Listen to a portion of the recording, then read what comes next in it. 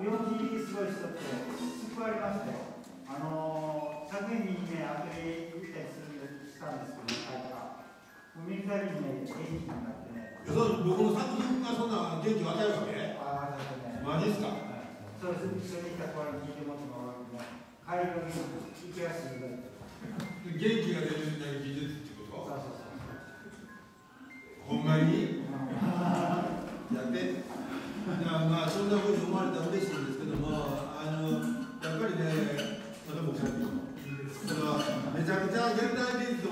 しでかといってどういうのかなあのこう一点でガーンとするようなあのまあなんかそういうスーパーインパクトのあるような展示でも今回なかったしやっぱりまあ原さんが一番3日前かなもう商品ずらーっと50点も、まあ、40点近く並べたからもうええやんって言ったら今度はそんなちまちま商品並べるからちゃうわって言われて3日前に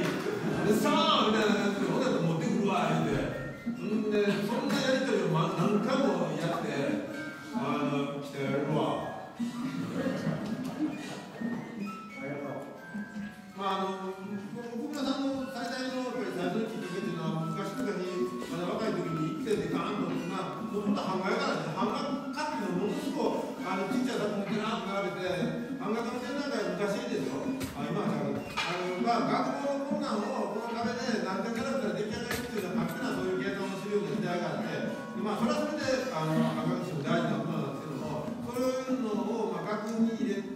べるのじゃなくてその額からちょっと飛び出していくのでじゃあ半額感が一点の作品作ったらどうなっているかっていうたまたまその一点でビジュアルを作った時にまあ80年代のその表現主義の仲間が出ておもろいじゃな？いことになってたそれをまあちょっと評価してもらったのがもう奥村さん最初にあの嬉しかったんですよでパスしていいそのいやちょっとどうしようかなあ黙るの黙ったらわかんないのえっ、と奥村です。えっ、とどう版画の話から始まったんであの今回あの紹介文が書かせていただいていきなりあの池崎の出自はどう版画だと変えちゃったんですけどそれでいいのかどうかっていうところにちょっと疑問がありつつあの同伴もちろんどうそこでもね。うん、で同伴画でどうなんっていう話をしたら「どう?」って返ってきて「どう?」そうそうあのあ話す前にそうそういやうんとどうどうだよやっぱりどうどうやどうなんでか知らんけどどうとは深い縁があってあのどうは本当に友達ですよいいいいですよ人間の一番古い友達ですよね生徒者に文中金額としてはそうそうそ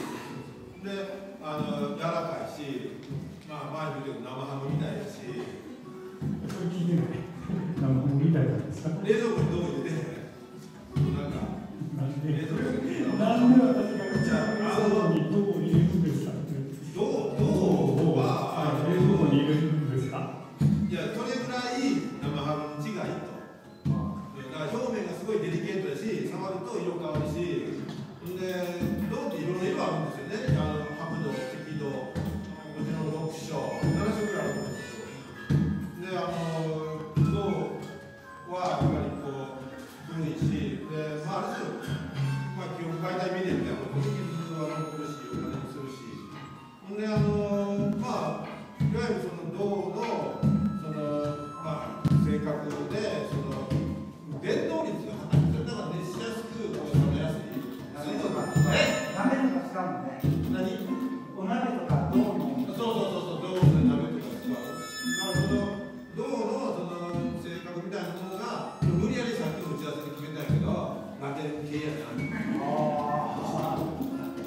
ものすごくあの過剰に動くけれどもその逆の怖いコントラストきついよねそうかいやあの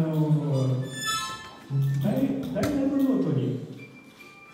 こういう専門家っていうのがあの、ね、なんていうかな基本的に落落書き性があるというか出発点として落書きがあってでそのの線の自由さっていうのがあのあってで、えー、と池上さんはその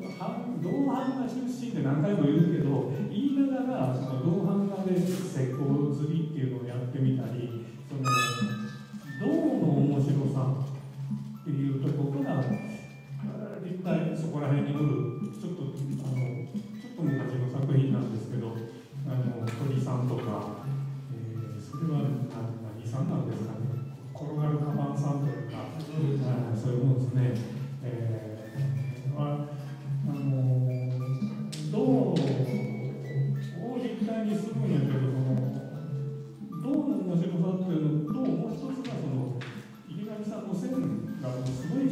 だからあの平面と立体っていうちょっと高い表現の仕方すると芸術家ってその描きで平面を主主戦場として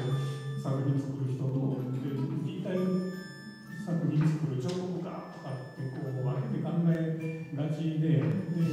両方やる人って一体どんなふうに両方やるんだなっていう昔はねいやいや昔はそのミケランジェロが彫刻家やけどシスティナ礼拝の絵も描いたとかにはんねんけどそういうこう仕事の分かれ方っていうのが池上さんの場合はなくてなんか地続きでどっちも一体的に見えるのが。